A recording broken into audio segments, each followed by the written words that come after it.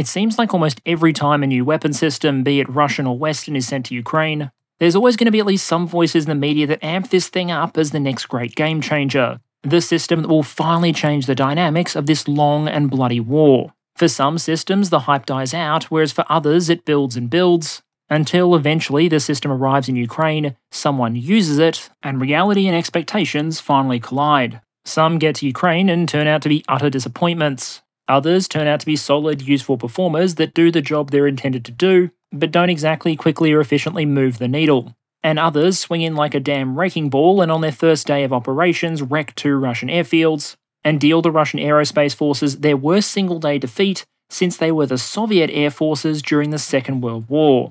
Because when you're trying to pack more than 900 cluster munitions into a single ATACMS missile, there's exactly zero room left for moderation or chill.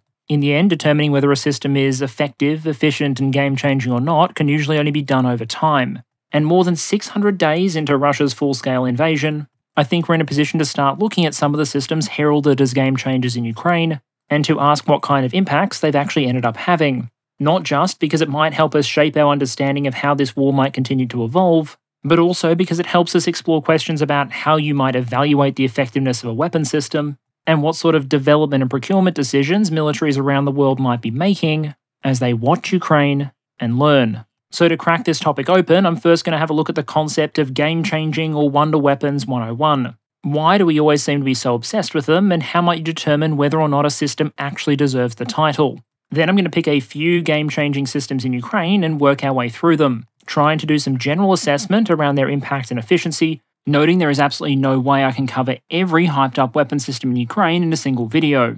But for today, we'll cover some of the highest profile examples, things like Javelin, Lancet, Western Main battle tanks, HIMARS, and ATACMS. And if the video goes well, in the future we might look at a couple more, including some of the more spectacular failures, as well as systems that I don't think always get game changer accolades, but probably deserve them. That'll then leave us to close out with some final thoughts, but for now, let's just jump into it. Okay, so what might we mean when we're talking about a game changing weapon, and what might it take to qualify? because history is full of examples of, in some cases, legitimately revolutionary weapon systems that attracted enormous expectations from the public, military, or political leadership. Modern marketing often tends to favour terms like revolutionary or game changing, but another term you'll sometimes hear used is Wunderwaffe, a term used by German propaganda during World War II to describe a series of often quite technologically advanced wonder weapons like the V 2 rocket, that were meant through sheer technological innovation to somehow overcome Allied advantages in more banal and boring areas like industrial production, manpower, and logistics. It represented an extreme version of the trend through much of human history to hope that just one more system, one innovation, one action might change the dynamics of a battlefield or indeed an entire war. An awful lot of the time, would be game changers do not in fact end up changing the game. The German Me 163 Komet was a rocket powered interceptor and by far the fastest military aircraft in the world at the time of its introduction. It was also, to apply the correct technical lingo, complete dogshit as a military aircraft, tended to explode and kill its pilots, and the entire project was a massive waste of finite resources. If it changed the game, so to speak, at all, it may only have been in the sense that it helped the Allies win the war just that little bit faster. But that doesn't mean a single system or a single capability isn't capable of changing the dynamics even of a very large conflict. To stick with World War II aircraft examples for a moment, in many respects, the P 51D Mustang was just another fighter. The difference was it was a fighter with the range necessary to escort Allied strategic bombers deep into German territory, while also dogfighting with German defending fighters on more or less even terms. Its introduction meant US bombers could hit those targets while suffering many fewer losses than they used to, while also significantly increasing losses and attrition among German fighters. It also led to the near extinction of certain German systems and tactics. For example, the Germans had previously found that heavy twin engine fighters were quite effective in taking down unescorted American heavy bombers. But those slower, less agile, and sometimes rocket armed aircraft were extremely vulnerable if they encountered an agile single seat escort fighter like the Mustang. My point here is that a system doesn't have to be sci fi technology in order to be a game changer. Sometimes it's just about bringing the right characteristics for the conflict at hand. And because human optimism bias is absolutely a thing, when it comes to the war in Ukraine, there are always going to be some commentators on both sides that think their next system is inevitably going to be a Mustang, not a Komet. In Ukraine, at least, I'd argue there's often a sort of cycle around the supply of game changing weapon systems, quote unquote. First might come a debate over whether or not a weapon system should be supplied, meaning you'll often see plenty of advocacy and hype. That might be the media wanting to generate clicks or advocates wanting to get a system delivered. Because if you're trying to mobilise political capital, it's sometimes best not to say the system in question is honestly a bit mid. Then you'll often hit the phase where, as with many things in life, reality and expectations meet. And whenever that encounter turns into a fight, reality has a way of curb stomping the opposition. What follows, whether a system is a massive success or a complete failure, is often a phase of adaptation. The user tests out new ways to deploy and leverage the system, and the defender finds new ways to defend against or adapt to it. Eventually, over time, you might hit a new stable or at least semi stable situation, and it's often only then that you can really start to talk about evaluating a system's impact. So, in setting out to illustrate how you might try and evaluate potential game changing systems in Ukraine, today I'm setting two sets of ground rules. The first was what does it take to get selected for evaluation in the first place? Here, there are two basic requirements. A system must have received a lot of hype in the media, and secondly, we have to have at least some data available that might be used for evaluation purposes. The second question is how do you actually evaluate the systems in question? For actual militaries, this can be a pretty involved process that we've talked a bit about before, but for YouTube purposes today, we're just going to apply three simplified metrics direct impact or effect, efficiency, and a more holistic impact analysis. That first one, direct impact, is probably the simplest. What did the system actually do? How many artillery pieces have been destroyed by Russian Lancets, and how many Russian tanks have been lost to javelins? But in a conflict where both sides have finite resources, I'd argue it's also important to measure efficiency. Efficiency measures what the system is achieving against the cost of acquiring, fielding, and sustaining it. Those measures can point in very different directions, and different groups can be invested in different ones. Let's say, for example, you engaged in the traditional American military pastime of destroying Toyotas using tomahawks. That might be a pretty quick and reliable way to have a direct impact. Even the famous Hilux is probably going to struggle with a 450 kilogram warhead. But it is absolutely not cost efficient. And to greatly oversimplify things, troops and uniformed personnel are usually going to care about effect, they just want the job done, while it's going to be the bean counters, force designers, and members of the public who enjoy government services other than the ability to explosively decompile four wheel drives half a world away, who are going to care more about efficiency. Then there's a measure which I think has to go beyond just how many enemy systems were destroyed and how much did it cost to achieve that impact. This is to do a but for test, essentially asking the question if that system had not been supplied and fielded, what would have happened instead? And it's this mode of assessment, among other things, that helps explain why strategic missile defense programs continue to get funding. That's a relatively simple example, built as it is on the assumption that it's usually good to spend any amount of money if it means potentially keeping nuclear warheads away from your cities, but you can get conventional examples that are much more complicated once you start to factor in the impact a system has on enemy decision making as well as your own. If the reason a system like HIMARS, for example, isn't destroying as many ammunition depots as it used to is because Russia has dispersed them or moved them further away from the front, then your measurement of effectiveness should go beyond just the value of the targets destroyed and how much it costs to destroy them, but also what the total impact on the opponent was from forcing them to adapt in that way. Now, even taken together, these criteria don't represent a comprehensive assessment, but for what we're doing today, they'll hopefully suffice. Albeit with the caveat, as always, that we're working with limited information, and that when it comes to evaluating the effectiveness of weapons during an active war, well, the truth often does wear metaphorical camo. So, to start illustrating this concept, we're going to go back more or less to where it all began to a weapon system that was present before February 2022, and which was one of the first to capture international hype once it occurred America's Javelin anti tank guided missile. Javelin is a man portable, fire and forget anti tank guided missile and according to RUSI estimates, at the time of Russia's full scale invasion in February 2022, Javelin launchers made up about 16% of Ukraine's anti tank guided missile inventory. At that time, Ukraine was believed to have about 950 ATGM launchers of all types, including about 150 Javelin CLUs. There were, on average, about 10 missiles for every ATGM launcher, with 9,100 total in inventory. The problem, of course, was once the invasion broke and Ukraine found itself fighting the largest tank force in the world using a rapidly mobilizing army, well, suddenly 950 launches was about as adequate as planning a road trip across the Australian outback, with half a tank of petrol, one bottle of water, and your mobile phone on 30% charge. Ukraine needed every anti tank weapon it could get its hands on, and it needed them approximately yesterday. Javelin, along with other systems like NLAW, Panzerfaust, or Matador, were part of the initial response to that requirement. Reportedly, something like 5 to 7,000 Javelin missiles were provided mostly in the early months of the war, and Ukrainians were rapidly trained on these systems by Ukrainian veterans, foreign experts, YouTube videos, or, in at least one case that I read about, a Ukrainian team reportedly just kind of fiddling with it while pointing at a Russian tank until they figured out how to make it go boom.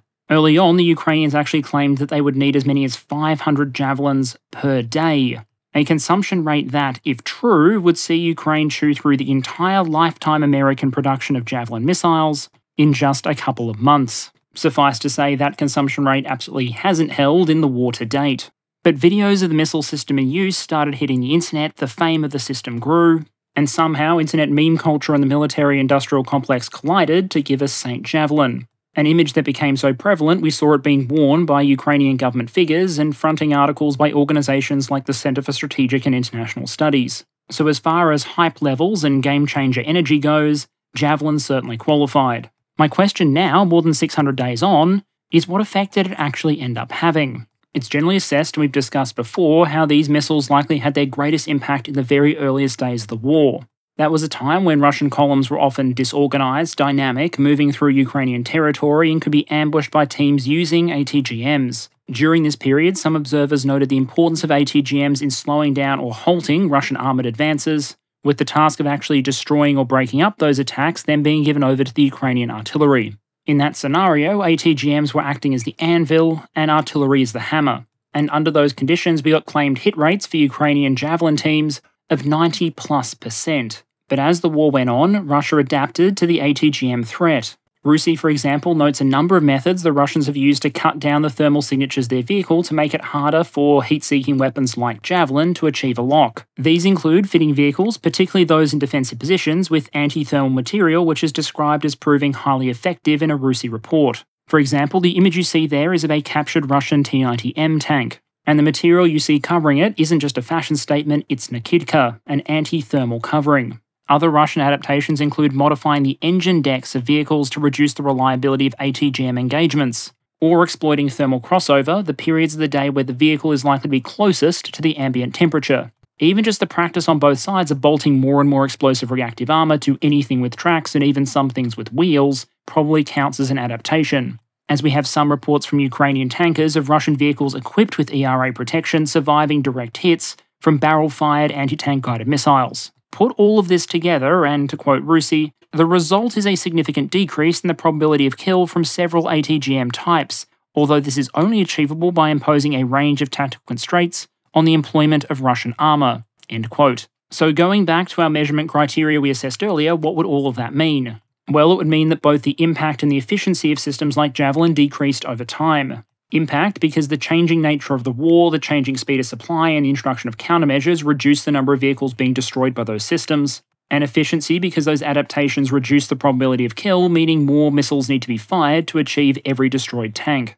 But in terms of that holistic but for test, you could argue things are a little more complicated. Because there you have to answer questions like what would have happened to Ukraine if they didn't have systems like Javelin arriving early in the war to help them harass, slow, or stop Russian tank columns? And in a universe where systems like Javelin and Stugna didn't exist, would Russia still have to use these sort of adaptations to protect their armour from them? Your answers to questions like that probably help form your opinion on whether or not systems like Javelin were game changing or not. Another thing you'll probably want to consider is how much effort was involved in achieving these effects. Talking about Javelin, if we use the figure of 7,000 missiles and round up the production cost to 200,000 per missile, obviously not accurate because a lot of what was sent were older munitions near to their expiration dates, then you arrive at a cost for those weapon systems of 1.4 billion US dollars. You'd normally also have to factor in significant allowances for logistics, training, sustainment, etc. But this isn't a tank or a fighter jet, it's a fire and forget missile. The logistics consisted of throwing a bunch of them in trucks and driving them to Ukraine,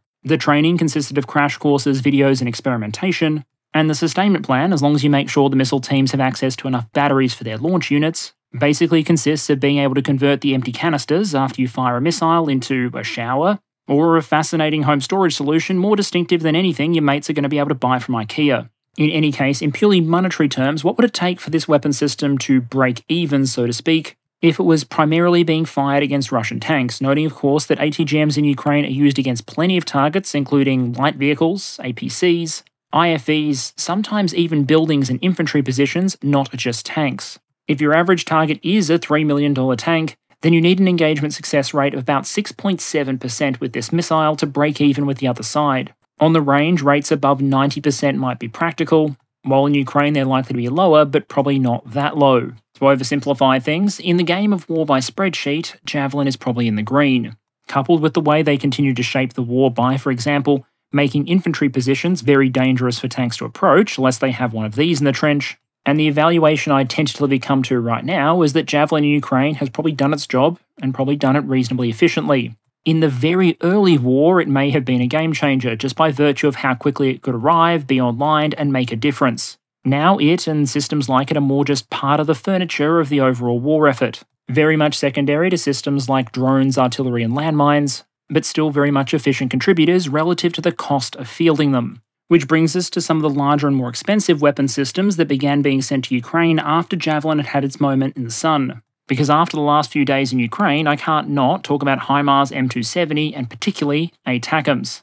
And for a sense of symmetry, I'll also evaluate them alongside a Russian system which received a lot of hype the TOS 1A thermobaric MLRS system. Now, we've talked about HIMARS and M270 enough in the past that the systems probably don't need any introduction. HIMARS is what you get when you take a pod of six normally GPS guided rockets and put them on the back of a truck. M270 is what you get when you take two pods of those rockets and put it on a tracked platform. HIMARS, M270, and M270 equivalents are all essentially NATO 227mm multiple launch rocket systems. So, for the purpose of this section, when I'm talking about one, assume I'm talking about all of them. At time of recording, Ukraine is believed to have received 61 of these MLRS systems, 38 of which are HIMARS and 23 of various versions or equivalents of the M270, including 5 MARS from Germany and 2 LRUs from France. Now, pricing this diverse set of launchers is going to be complicated at the best of times, so as a nice round figure, I'm going to estimate that as 4 million US dollars per launcher for a grand total of 244 million dollars. Then there are the GMLRS rockets to go with the rocket launching vehicles, and here to be conservative, I'm going to presume that every rocket sent was produced at 2023 prices of approximately 170,000 US dollars per missile. That's very obviously not the case, as many older munitions have been sent, but for the sake of simplicity, let's go with it. In terms of how many missiles have been sent, America doesn't disclose exact numbers. At the end of last year, there was a Reuters estimate of about 5,000 to date, so I'm going to use 10,000 to now for a total approximate cost of $1.7 billion. Then we would normally want to consider the training and logistics overhead for operating these systems. Fortunately, here we're only talking about 61 vehicles, and HIMARS in particular is much lower maintenance than some tracked armoured vehicles. That would mean the rough cost for 10,000 GMLRS strikes in Ukraine, responsible for all the GMLRS relevant destruction we have seen since the middle of last year, would be about 2 billion US dollars. As for the cost of those HIMARS and M270s that have been visually confirmed lost in Ukraine so far, that's still zero even if the Russian MOD continues to reassure their public that they have destroyed all of these systems at least once. In terms of the impact the system had, it's probably best to split this into two phases. The first is the highly disruptive period when first four and then several more HIMARS systems were first delivered to Ukraine in 2022. That's the phase during which, frankly, the Russian army doesn't appear to have been ready for them, and so a comparatively small number of HIMARS systems seemingly operating on a 24 hour basis were for a brief period destroying major Russian ammunition dumps, headquarters, or critical targets every single day. Whether this was the result of each launcher having multiple crews, or the crews that were there being fueled by patriotism and energy drinks, I don't know. But what I think we can be pretty confident of is that at least for a while, a handful of missile trucks did dramatically move the needle on the logistics for the entire Russian army in Ukraine. The system would follow up with another major achievement in 2022 when it was used extensively against the Antonovsky Bridge in Kherson, playing as before a significant role in undermining Russian logistics. The high notes of Phase 1, however, were followed by Russian adaptation. Here we can probably split the response into countermeasures to the GMLRS rockets themselves, and adaptation to the way the Russian army operated on the other. On the countermeasures side, the Russians both tried to adopt jamming in order to reduce the accuracy of the GPS guided GMLRS rockets, and also to begin shooting more of them down using ground based air defense systems. Now, using interceptors to shoot down incoming artillery rockets may not exactly be cost efficient, but if it saves a valuable target from being hit and you're Russia and as a result have many, many interceptor missiles, then you can understand why it might make sense for Russia. Russia began claiming significant success shooting down GMLRS rounds, and by the May of 2023, RUSI released a report finding as follows. The Russian air defense network is assessed to be achieving a significant number of intercepts against GMLRS munitions. End quote. Then, so far as other adaptations went, the Russians had to change everything from how they stored and dispersed their ammo to how they set up their headquarters. Now, as the war went on in 2023, GMLRS retained that deep strike role, but we've also seen it take on great importance as a counter battery weapon with particular apparent value when it comes to targeting very long range Russian artillery systems like heavy MLRS or the 2S7 Pion, or valuable point targets like, for example, UAV control stations, radars, or jammers. So, even though these systems no longer have the same apparent daily impact that they once did, they still play a useful tactical and operational role. While you could argue they also play another role in shaping Russian behaviour. This starts to get into that but for dimension that I mentioned at the start because based on what we saw in 2022, it's probable that the way the Russians want to fight is very different from the way HIMARS forces them to fight. As long as GMLRS are present on the battlefield in significant numbers, putting anything valuable in a concentrated spot within 80 kilometers of the front line is potentially asking for trouble. That limits the way Russia can organize its logistics, its command, how many troops it can concentrate for training, and where and how it needs to concentrate and expand limited defensive resources like jammers and air defense systems. In that sense, supplying Ukraine with GMLRS capability was an expensive effort. But countering GMLRS has been a force wide effort for the Russian army. So even though our data isn't complete, if you start plugging that information into those criteria we identified earlier, HIMARS, M270, and GMLRS all start to look pretty reasonable. In terms of direct effectiveness and impact, we have the ammunition depots and headquarters of the initial strikes, every artillery system and point target that's been subsequently destroyed, as well as a number of particularly infamous mass casualty events. In terms of efficiency, a $170,000 rocket is never going to be a $600 FPV drone, but that doesn't mean it isn't efficient. Valuable point targets like jammers, self propelled guns, tanks, these are all targets that are sufficiently valuable that on paper you could afford to miss with an entire pod of rockets, follow up with another, hit with the final round fired, and still turn out to be pretty cost efficient. Meanwhile, any GMLRS round that gets intercepted by a Russian air defense missile is probably essentially a wash in terms of cost efficiency, and keeping 60 or so vehicles and their crews operational in Ukraine and fed with ammunition isn't really a super high cost endeavour. I mean, a useful comparison here might be with a very different system in a similar sort of cost range. The TOS 1A is Russia's thermobaric and incendiary MLRS system. Like Ukraine's HIMARS fleet, this was a specialized weapon system. Russia had about 45 of them at the time of the invasion.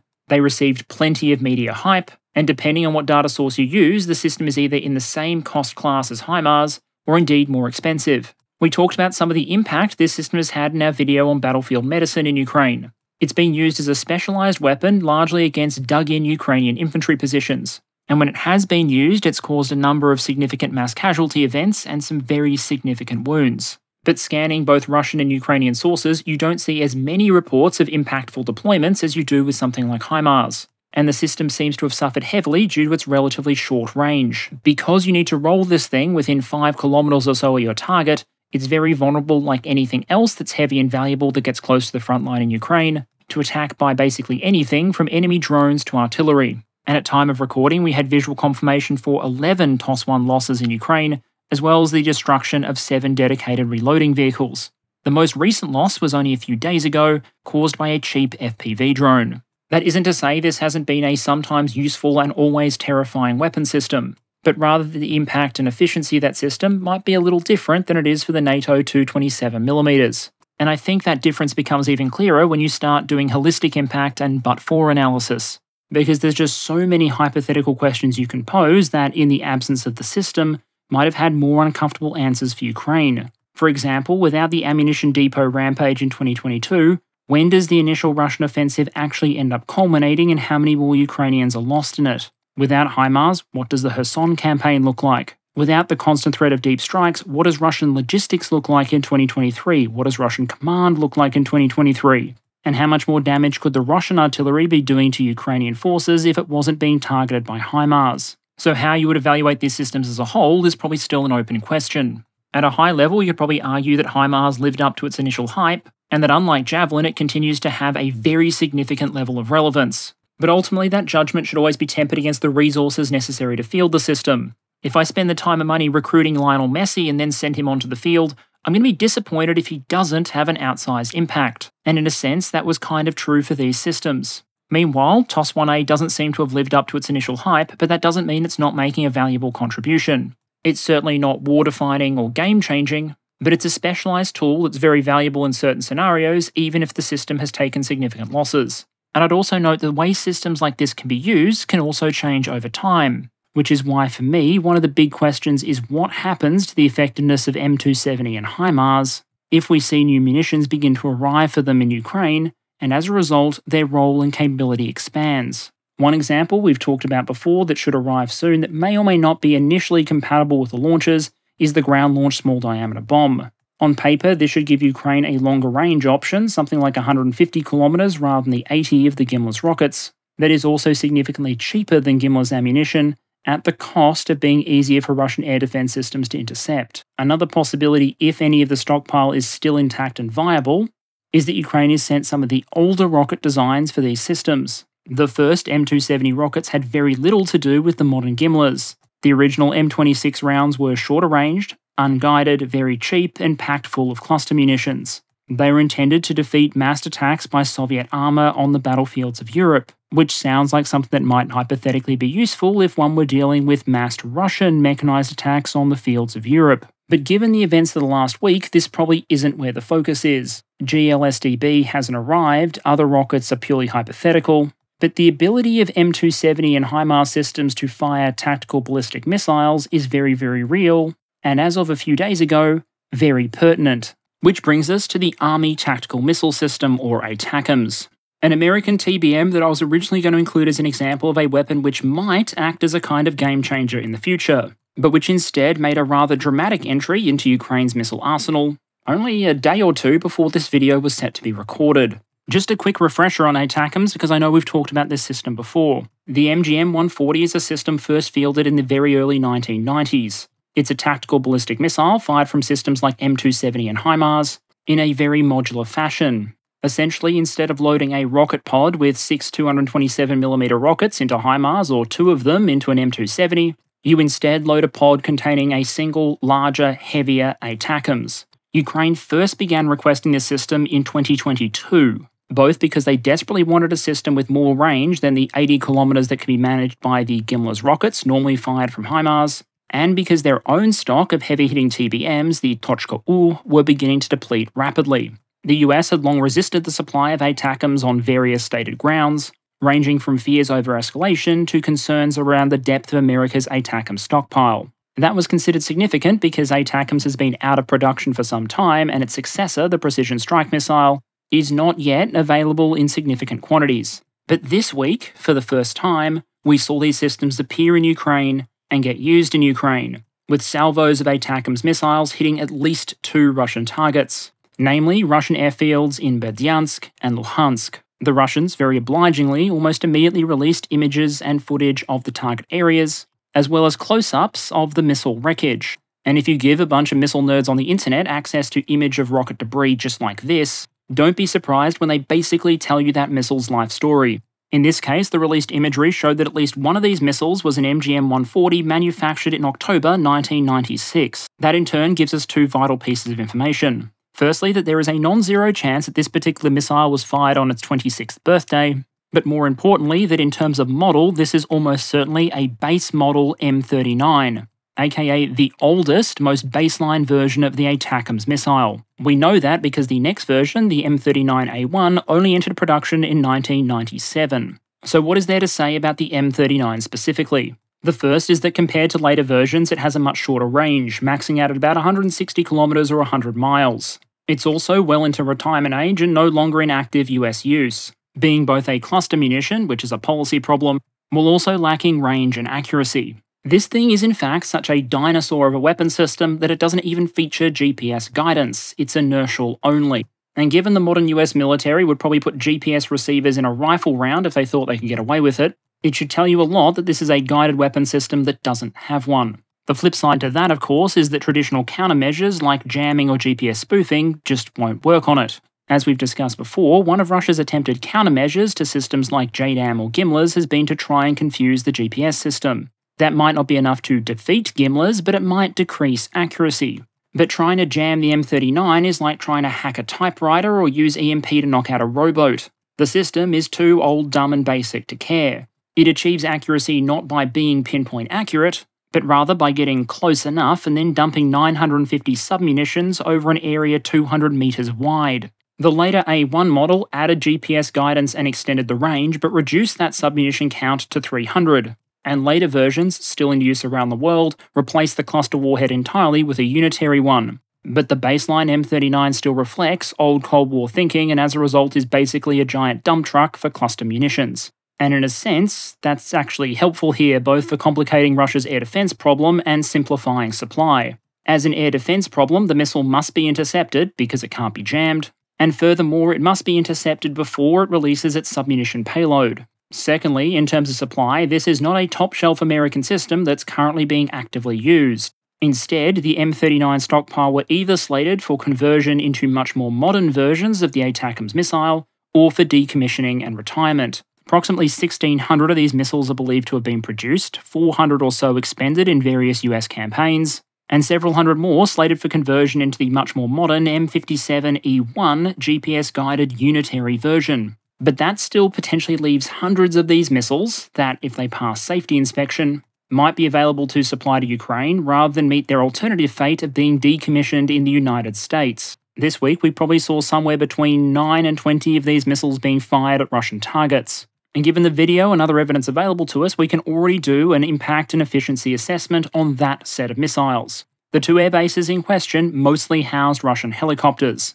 And as the first videos of fires began to hit the internet, we also saw Russian channels commenting. One Russian source described the air bases as having been attacked with ATACMS missiles, and described it as one of, or potentially the most significant strike of all time since Russia's February 2022 invasion. The dour observation was that there were, quote, losses in both people and equipment, end quote. And given that previously a very bad day for Russian aviation might mean the loss of four or so platforms, I do think the evidence suggests that this one will take the record. We got on the ground footage at Berdyansk showing a number of fires at the airfield, which internet users obviously quickly corroborated against three strong returns on NASA's FIRMS system, which is normally used to detect wildfires, essentially confirming that yes, things were burning at the airfield and doing so with enough intensity that they were noticeable from space. We also received reporting from claimed witnesses saying that not only were helicopters themselves burning, but there were also ammunition fires that continued to cook off for some hours. Then, satellite images of both known target locations started to surface, and it started to become clearer just how significant this strike had been.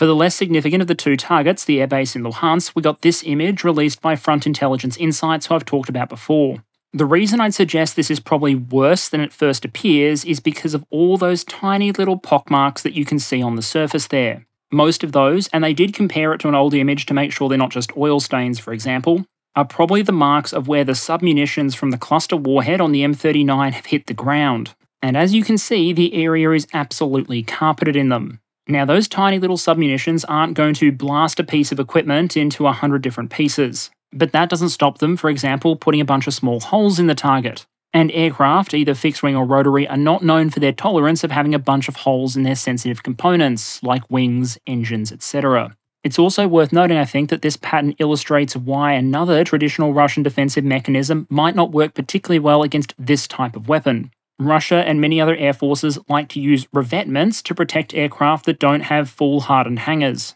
This is basically where you build up a three sided earthwork around each aircraft, with the idea being that if one aircraft is hit in its revetment, those earthworks should protect the others from things like fragmentation and blast. Essentially, you're increasing the odds that each missile can only destroy one aircraft and only do it with a direct hit or a very near miss. But M39 doesn't hit a point target, it carpets an area so a revetment isn't going to do much. The imagery we've been getting after the Berdyansk strike suggests it was even more damaging.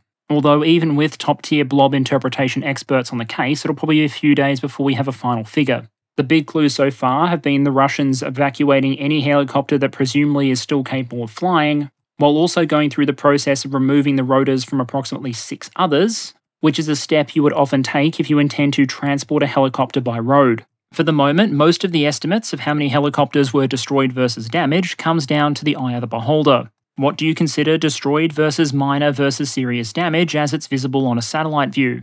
I've seen some arguing, for example, the helicopter shown on screen here is only lightly damaged and will soon be serviceable, while others reckon it's further along the spectrum towards setting it on fire and claiming the insurance. For what it's worth, the current Oryx estimate is 7 Ka-52s definitely destroyed and 8 damaged to various degrees, with at least some of those likely being non recoverable. That would constitute more than 10% of the February 2022 Ka-52 fleet, and a significantly higher percentage of the airframes that remain undamaged and operational this far into the war. Estimates for other helicopter types were 2 destroyed and 7 damaged. But again, please note, these are very much in the eye of the beholder, and that especially when you're talking about potentially lightly damaged aircraft, albeit ones surrounded by visible cluster munitions impacts, there are very much going to be arguments over classification. And that's before we consider the impact of any ammunition depots destroyed at these two sites, which is something we absolutely shouldn't do. The Russian Ka-52s specifically are so dangerous to Ukrainian forces because they're capable of firing long range anti tank guided missiles. So it stands to reason that some of those missiles would probably be stockpiled at their airfields. Those missiles are neither cheap nor available in infinite quantities. Pre February 2022, Russia's annual production run of something like the 9K 121 was probably only a couple of hundred per annum. And every one destroyed in this attack is potentially one less to be fired at either a Ukrainian armoured vehicle or a piece of farm machinery. So, if the count of damaged and destroyed equipment is our effectiveness measure, what about efficiency? And here we could potentially be very cheeky. We could argue, for example, that these missiles are slated for decommissioning, they would have a disposal cost, and therefore the efficiency of their deployment to Ukraine is in fact a saving on the part of the US government, and that as a result these weapons are infinitely efficient. Because everything gets more entertaining in mathematics once you start dividing things by zero. But if we instead take a potentially more reasonable replacement cost or original cost approach, you're going to end up with missiles costing between 1 and 2 million US dollars per shot, but at the same time quite a low logistics training and sustainment burden. ATACMS aren't particularly difficult to shift, they're relatively compact, and Ukraine already had the HIMARS and M270 systems and the crews to operate them. Taking a very rough ballpark figure of 15 million US dollars for a Kamov 52, then depending on exactly how many missiles were fired and where you fit in that 1 to 2 million dollar estimate range, the break even price, if you want to call it that, for this sort of attack was probably somewhere between 1 and 2 helicopters. As you can see from the satellite imagery, the Ukrainians almost certainly did considerably better than that. And then you have to take into account the wider impact, our but for test. And here there are factors that will probably both give the Ukrainians reasons for satisfaction and also deep frustration. Basically, depending on whether you're evaluating what is actually happening now or whether you're considering what might have been. From a here and now perspective, there are probably reasons that Ukraine will see this as a win far beyond just the monetary value of the helicopters and munitions destroyed. For example, destroyed helicopters can't be used to fly missions against Ukrainian forces. Therefore, it's important not just that Russia has lost a valuable military asset, but that Ukraine might be able to keep some of its. Armoured vehicles, for example, that may otherwise have been destroyed by these helicopters flying missions in the future. That effect is likely to be compounded by the fact that Russia has begun to evacuate these airfields and will need to either move its helicopters further back or find some way to disperse or protect them. Way back in 2022, I talked a little bit about Russian doctrine and why they might want to base their rotary aviation assets so close to the front. A key reason there, of course, is response and loiter time. The closer you are to the front, the quicker you can respond to a call from help from the front, and the more fuel you're going to have to hang around for a while once you get there. If Russian helicopters now fall back further out of M39 range, then the ability of the surviving parts of the fleet to respond to future Ukrainian offensive action at short notice is going to be diminished. So if you're Ukraine, you're probably thinking, hey, that's fantastic, I've destroyed a bunch of helicopters and I'm likely to reduce the effectiveness of the remaining ones. But therein is also the bittersweet part of this evaluation. Because remember, Ukraine was asking for these weapon systems in 2022. Meanwhile, some of the greatest impacts of the Russian attack helicopter fleet on this war were made in June and July of this year, where ATGM equipped helicopters were a major factor in blunting Ukraine's initial counteroffensive operation, with Russian sources claiming to release video of more than 100 claimed Kamov 52 strikes during that peak mechanized phase of the Ukrainian effort. And while it's obviously just a hypothetical and we'll never know the answer for certain, it's interesting to ask what would have happened if these weapons had been supplied before the counteroffensive and these attacks had taken place at the same time. What might have changed, or how many losses may have been mitigated if the attack helicopters hadn't made the same contribution, either by virtue of being on fire, grounded, or evacuated? I ask the question not because I can provide a definitive answer, but because it illustrates a point. The extent to which a system becomes a quote unquote game changer is not just a product of how good it is at its job or how many of them are provided. The when very much also matters. Something tells me World War II might have been considerably shorter if the Americans had rocked up with the atomic bomb in 1942. Now, thankfully, no one has been deploying atomic weapons in Ukraine, but one thing the Russians have been deploying on a significant scale is their Lancet loitering munition. Lancet is the most famous and probably the most impactful of Russia's expanding family of loitering munitions. Basically, weapons that have the endurance and capacity to, you guessed it, loiter in an area until a target is found and they can be tasked against it.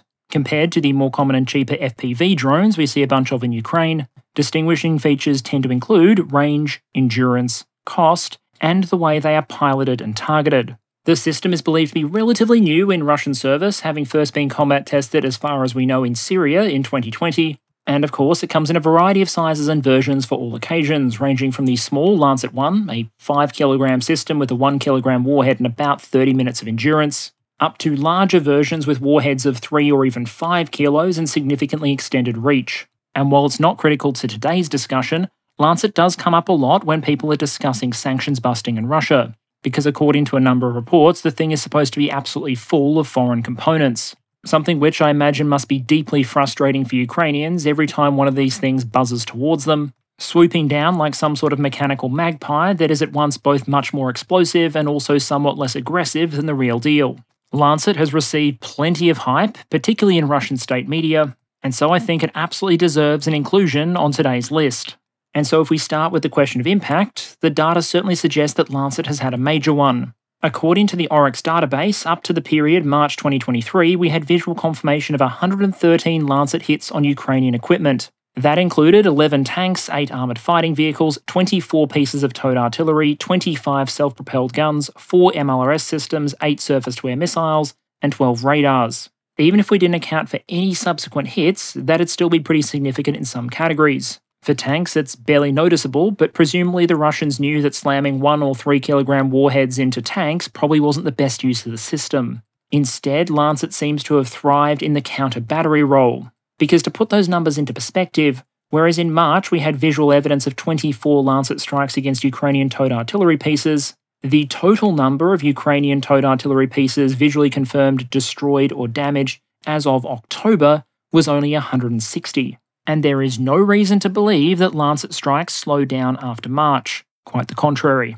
Switching over to a Russian source, Lost Armor, they also keep track of hits by systems like Lancet on Ukrainian equipment. And the pattern in their data shows a significant increase from the periods leading up to March 2023 to a truly massive surge in July and August. Coincided, it should be noting, with the more mechanized phases of the Ukrainian counteroffensive, before dropping back to more or less their March April frequency in September and October. Data from some other sources I reviewed didn't always agree on the scale with the Russian dataset, but they did generally accord with the overall pattern a surge in June, July, and August, followed by a drop off. Now, it's worth noting that not all Lancet hits are created equal, and the system and countermeasures have continued to evolve over the course of the fighting. The Russians have, for example, had to continually enlarge the warhead and the system as a whole, because the Lancet 1 and even the Lancet 3 are noted as having something of a lethality problem. Essentially, they could hit and probably damage something, but wouldn't necessarily destroy it. As RUSI observed, quote, the lethality of Lancet is often insufficient. It is apparent from videos that crews can often hear the munition approaching, as they often have time to disperse before it strikes. One officer also said that although he had seen his gun destroyed several times online, it remained alive and well. Quote, but the warhead is being enlarged and Russian tactics are evolving, culminating in a recent incident where what appear to be extended range versions of the Lancet were used to attack a Ukrainian airbase. The first video that was released appeared to show a Lancet striking a parked MiG 29, reportedly at an airbase at least 50 miles from the front line, which, considering the legs on a baseline Lancet model will probably only take it about 40 kilometres, is a significant hike. For a relatively cheap loitering munition like this one, this is a very expensive, very valuable target. And it also doesn't appear to have just been a one time thing, because we also got another video from the same location, it seems, of a Sukhoi 25 being struck probably around the same time. In that image you have on screen there, the circled smudge is the incoming munition. Now, I'm just going to take a moment here to discuss with some incredulity the impact of this incident. because in any war, mistakes are made and things go wrong. That's just the nature of the activity. But there are probably things to be said about both Ukrainian and Russian approaches based on these videos. For Ukraine, the concern is obvious valuable aircraft being destroyed by cheap munitions, and the unexplained fact that the Russian spotting and designating drone that is coordinating these attacks was able to apparently hover near this airbase and bring in the Lancets. Very much a what air defense doing moment. But for the Russians, meanwhile, I also have questions. This is an interesting demonstration of a longer range loitering munition being used in a different way. It is also very clearly a very valuable strike. But for me, it also raises the question how on earth were the Ukrainians using an airbase 50 miles from the front line? Russia is meant to have cruise and tactical ballistic missiles. Heck, they're meant to have long range unguided MLRS systems, and it's not like a runway moves much. It shouldn't take world leading ISR capabilities to figure out that there are some aircraft at an airbase, and maybe, just maybe, you should drop some long range fires on that thing. So the use of a loitering munition here is definitely interesting. It just strikes me as something that shouldn't be necessary if all the other components of the Russian military were performing as they should on paper. To get back to Lancet and Russian loitering munitions, the story is very much continuing to evolve. It's reported, for example, that Lancet is meant to be joined by a new system, which is both cheaper and also has a larger warhead. At the same time, Ukrainian forces continue to adapt to the presence of systems like Lancet on the battlefield. That means both better hard and soft kill countermeasures, like shooting it down or jamming it, but also just super high tech expedients like building protective cages around artillery systems. Because while something like a Javelin or an NLAW is going to give between zero and no shits about a protective cage around an armoured vehicle, a lot of FPV drones and loitering munitions are still at the point where they can generally be hard countered by the simple expedient of building a fence around the vehicle. But of course, to go back to the but for test, all of those adaptations come with cost. If you're relying on things like fixed cages and camouflage, you probably can't relocate your system as often. If you're dedicating resources to jamming or shooting down Lancet, you're not using those same resources for something else. So, just like you could argue that a system like Javelin might impose a tax on how Russian armour can operate, you might argue that Lancet and similar systems impose a tax on how Ukrainian artillery and air defences can operate. And to come to a more efficiency based measure, that tax that systems like Lancet impose on the Ukrainians probably aren't coming at a particularly high cost to Russia. Of course, the only way to calculate that is to know how many Lancets Russia is producing and firing relative to the number of losses we're seeing. As of July, for example, Ukrainian media carried estimates of the Russians producing between 50 and 100 Lancets per month. That number has since probably increased. At the same time, you'll find pro Russian sources estimating figures anywhere from 1,000 to 45,000 per month. This is another case, just as when some pro Russian sources were probably massively overstating the number of artillery shells Russia was firing during parts of 2022, where it's probably better for Russia if the Ukrainian figures are accurate as opposed to their own propaganda numbers. If you're producing and using around 100 per month to hit 50 targets, your engagement success rate is about 50%. If you're sending 45,000 to achieve the same number of hits, suddenly your success rate is one tenth of 1%. At this point, I'd suggest a sober estimate is probably somewhere in the low single digit thousands, which, at an estimated price of 35,000 per Lancet 3, would mean a production run of 2,000 would come at a relatively minor cost of about 70 million US dollars. Now, obviously, that's not accounting for all the other costs around the system. You need to put up drones to spot for Lancet, for example. They tend to be more expensive than the Lancet, and they too get shot down and lost. But the system is so cheap relative to some of its targets that unless so many are being fired that it causes localized eclipses, this is a system that is probably going to score pretty highly on the efficiency count. In terms of total impact, that is targets damaged or destroyed, obviously this is a system which has destroyed considerably less Ukrainian equipment than, for example, the Russian artillery, but there is an orders of magnitude difference in the investment involved. Finally, it forces Ukrainian adaptations, and as a result, would probably score pretty well on holistic analysis or that but for test. But for Lancet, Ukraine would have more artillery systems in service, and they wouldn't have to employ as many counter Lancet mechanisms. But for Lancets, it would be safer for Ukrainian air defense systems to move a little bit closer to the front line. And but for Lancet and similar systems, there might be a subtly different dynamic in the ongoing artillery war. Ukrainian crews, for example, wouldn't be as punished for keeping propellant and shells close to the gun, something which, in a number of these Lancet videos, seems to have been the reason that a relatively small warhead was able to cause catastrophic damage. So while I acknowledge we're working with a lot of very soft estimates here around successful engagement, losses, and the number of Lancets fired, it strikes me that this is probably an example of a Russian built system that is both cost efficient and has had a noticeable impact on the battlefield. If it doesn't get the title of game changer in Ukraine, it would probably only be for reasons of comparatively insufficient lethality, and the fact the Russians seem just not to have had enough of these things to deploy them at the sort of scale that this conflict demands, causing the drone to lose out in relative terms to things like cheaper and more available FPV drones, and of course the Russian artillery. So, switching now from the small and cheap to the big and expensive, I want to evaluate some of the heavily armoured vehicles that have been nominated as game changers before being sent to Ukraine.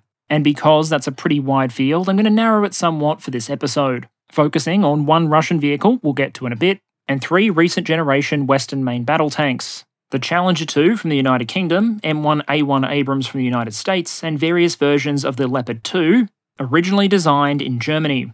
I'd argue these systems very clearly pass our media hype requirement, as the so called Free the Leopards campaign became a very public international phenomenon. It was also, in a way, a symbol of just how much discourse in Germany and the surrounding nations had changed since 2021. It was only a couple of years ago that Germany was having a very public debate on whether or not they should arm their own drones. Cut to 2023, and you had public demonstrations demanding that main battle tanks be sent to an Eastern European country in the middle of a war. Clearly, another sterling win for Russian foreign policy and influence campaigns. Once the announcements started coming, the hype continued to evolve. Russian media ran articles arguing basically how useless all of these Western main battle tanks were, while many Western media organisations repeatedly asked whether or not these systems would be a game changer. Now, with the benefit of at least some hindsight, we can start to ask who may have been closer to the truth. First, we need to understand how many vehicles were pledged and sent. According to the trackers at Oryx, that's about 130 recent generation Western main battle tanks as those announcements were being made, there was a lot of discussion about the costs involved in training, support, and sustaining those sort of vehicles in the Ukrainian theatre. Our best clue when it comes to the ballpark figure for all of those things taken together is actually the US package that originally was announced for Abrams. That was costed at 400 million US dollars for 31 at that point new vehicles, something which was later revised to using existing vehicles. And then, as well as the tanks themselves, eight recovery vehicles, various support vehicles and equipment, training, maintenance, sustainment, and ammunition for the above. The key point here is that while this effort was reasonably expensive, in the scale of this war, it didn't really generate a strategically significant number of new tanks. As at time of recording, about 5% of those pledged recent generation tanks have been visually confirmed destroyed, and a further 9% visually confirmed damage, at least some of which we know have later been repaired. The percentage lost by type does vary from 0% from the M1A1 Abrams, a remarkable feat of survivability they mostly achieved by only being delivered late last month. Meanwhile, for the Leopard 2A6s that have often found themselves at the vanguard of Ukrainian mechanized pushes, the figures are 3 destroyed and 6 damaged or abandoned.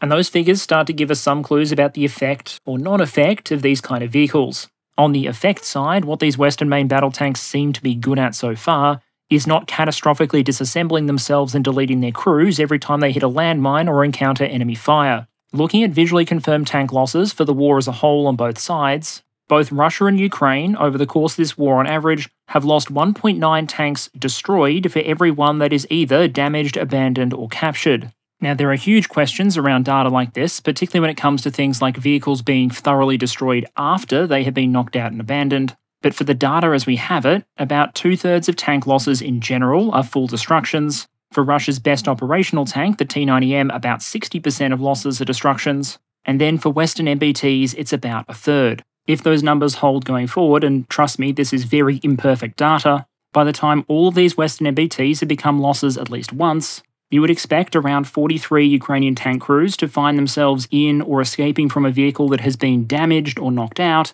as opposed to being catastrophically destroyed. Meanwhile, the Ukrainian military will have 43 additional vehicles that may be recoverable or repairable as opposed to total write offs.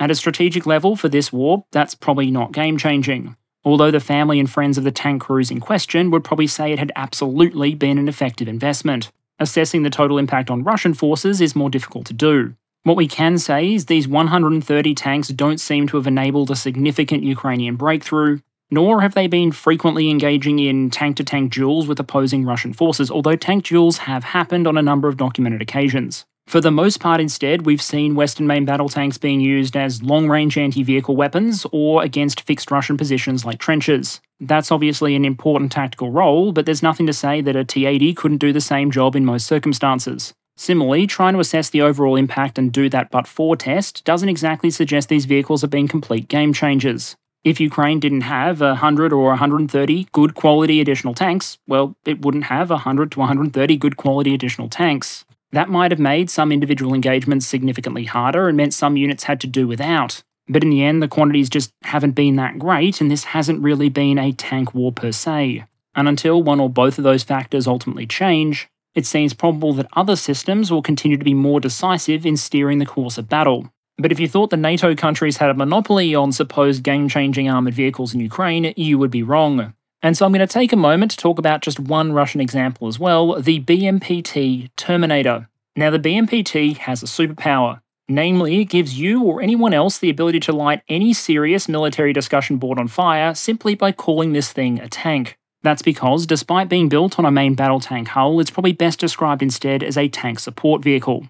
Now, I would love to talk about the Terminator and its development more in the future, but for now, here's the spark notes. Soviet and Russian experiences in places like Afghanistan and Chechnya was that tanks can have real difficulty dealing with certain environments. In the mountains of Afghanistan, infantry firing from the mountains down on the tanks below was a problem, and in Chechnya, infantry in urban environments, particularly when they did annoying things like get themselves on rooftops and then fire downwards, were likewise a problem. The very Russian response to this problem, which was at its core just an expression of the inherent vulnerability of the tank in certain environments, was to try and protect the tanks by adding more not quite tanks. The conceptual solution underpinning BMPT is to take something heavily protected, like a T 72 tank chassis, and then mounting a remote controlled weapon station on top with a suite of weapons designed to deal with things that a tank's 125mm cannon aren't optimized to deal with. As a result, the model of BMPTs that we've seen in Ukraine mount two 30mm cannon, four anti tank guided missiles, some AGS grenade launchers, and machine guns. Now, whether this is a good concept or not, and whether this is a good vehicle or not, is something I'll leave the armour experts to debate. I've read Russian sources with plenty of negative things to say about the vehicle, like, for example, the fact the weapon station is not armoured. And then at the other extreme, you'll find Western sources saying that this thing is terrifying and the future of armoured warfare. But for the purpose of this video, we're mainly concerned with what impact the 10 or so that we believe may have been sent to Ukraine actually had. Because these things absolutely passed our hype check when they first started getting sent to Ukraine, and despite only a comparative handful of systems being involved, expectations were apparently high. We got a couple of videos of BMPT apparently on operation. At least one was of the vehicle appearing to operate as Russian doctrine and thinking seems to suggest it should be, being used alongside regular main battle tanks. From memory, that engagement ended when artillery fire started landing in the area and the collection of armoured vehicles pulled back. Another video released by Russian media showed BMPT firing 30mm cannons at targets off screen. The arrival of the vehicles wasn't correlated with any sudden change in movement on the front. Ukrainian sources don't appear to have reacted to their arrival at any scale or shown any particular concern. And it almost seems to have been like engaging 10 additional armoured vehicle in a war that already matched hundreds or thousands on both sides against each other wasn't making a noticeable difference. Then in February, we got our first footage of a Terminator being terminated. Thoroughly burnt out and wrecked by Ukrainian artillery, this was one vehicle very clearly wasn't going to be back. Another was at least damaged in August 2023, and footage came out of another one being damaged the following month. By which point, if that initial 10 estimate was true, a third of the committed vehicles had either been damaged or destroyed.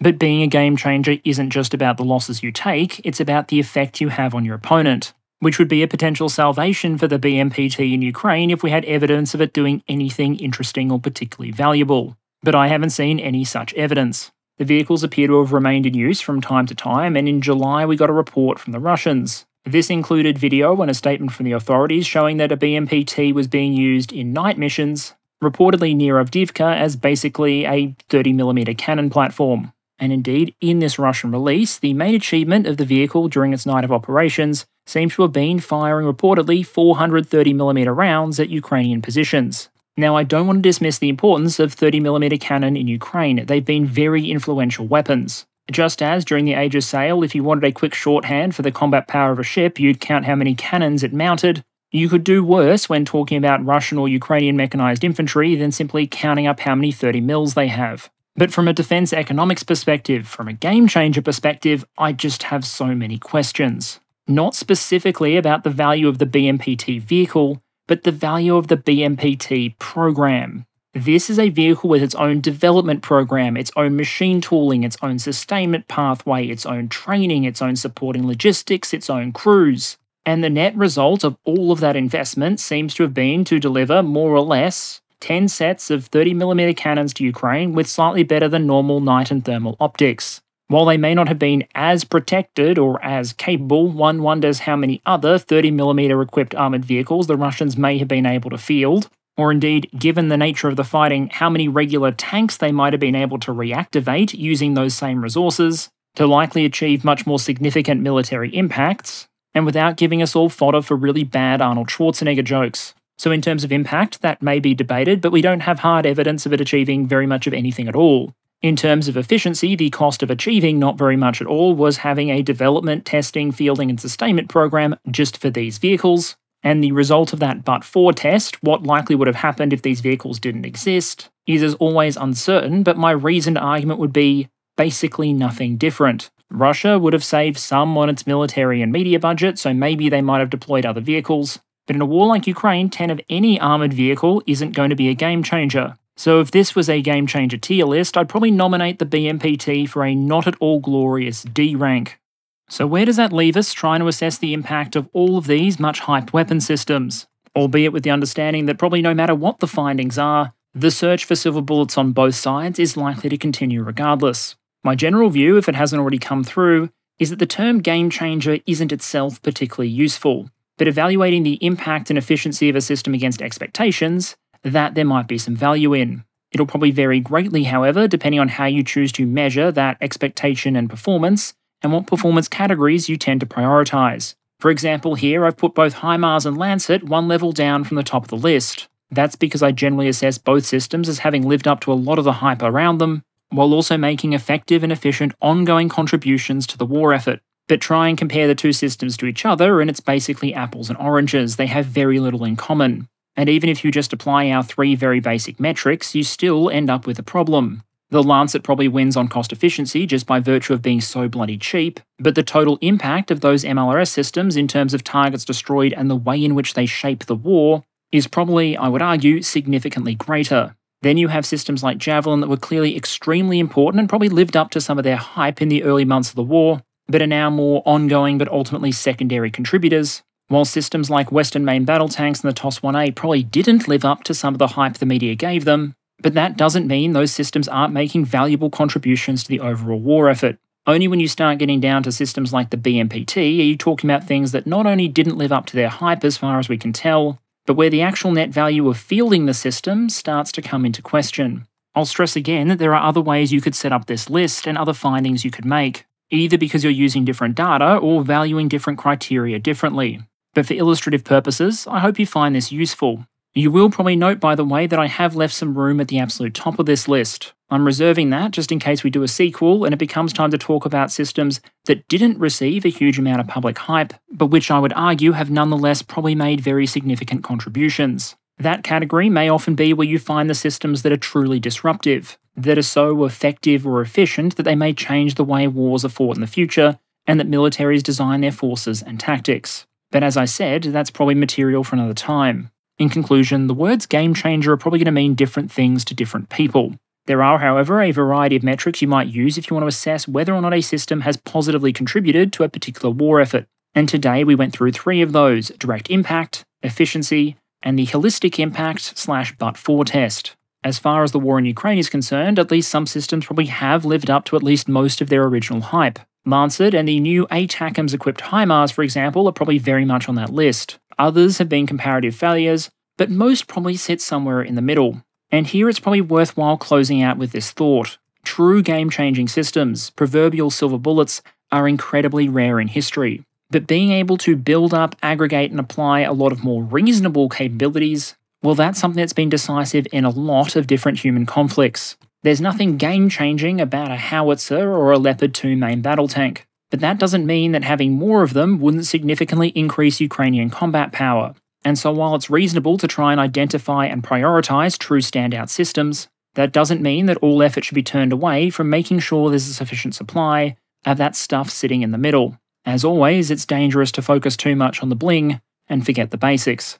And okay, channel update to close out. Firstly, thanks to all of you who engaged with the video on the IDF last week. I'm very much aware that was a sensitive topic, YouTube certainly agreed, but I felt it was a topic that had to be covered, and I hope you're happy generally with the way I covered it. This week's video is a topic that was selected by my patrons, taking a chance to try and leverage some of the data and hindsight we're starting to accumulate after more than 600 days of full scale war to make at least some high level observations about the systems involved. There are, as I said, a long list of other systems that could be evaluated from the extremely successful to the abject failures, but I'll wait to see how this video goes before I commit to producing any sequels. Finally, I'll flag that as always, I've got a couple of significant projects running in the background. I'm hoping my video in India, for example, will finally be ready for release sometime in November, although for that one I might have a request for community assistance, which I'll bring back to the channel next week. Until then, just let me wish all of you the very best as always, Thank you very much for continuing to engage with this content, and I'll see you all again next week.